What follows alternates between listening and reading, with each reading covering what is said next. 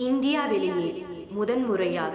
three D UV embossing மற்றும் gold foil printing உங்களுடைய தீனா கலர்ல புருஷவாக்கத்தில் புதிய கிளையில்